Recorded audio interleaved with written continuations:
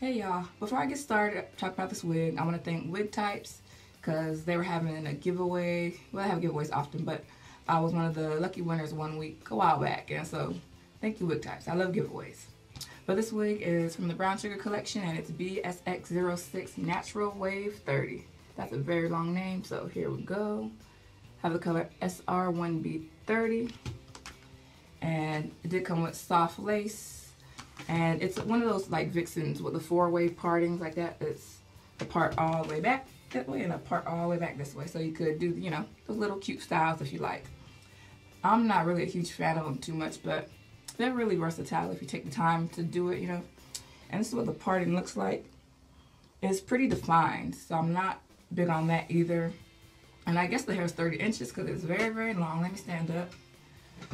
This is it all the way to the front and it's all the hair to the front so it's a good density but it's super duper long. It's had four combs like two up here and two in the back. So you know so it could you know be more sturdy. I would definitely if you're gonna do like updos and stuff with this I would definitely you know put some glue gel whatever you like to use wig grip band. And um I don't there's a few layers. I don't really like this straight you know, the straight look on me. So y'all know me, I'ma just do this flip over thing real quick and call it a look. And I think it looks better this way. So flip some hair to the side. Looks, you know, a little better in my opinion. Of course, you know, I would have to readjust all this baby hairs and get it to your liking, but looks better without the parting, personally. But um, let me show you some different angles real quick and get into my final dots. Here's the front. Here's the side view.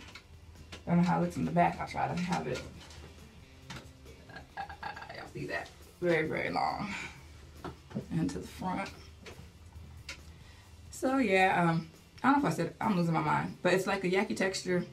Um, it's gonna tangle, y'all. Y'all see how long this is. So this is definitely not an everyday wig, but well, not for me anyways. But you could definitely wear it every day if you like.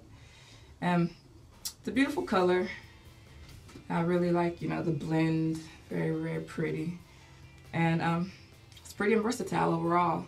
I'm not huge on these super long wigs on me, but um, I know that's kind of the style nowadays, it seems like.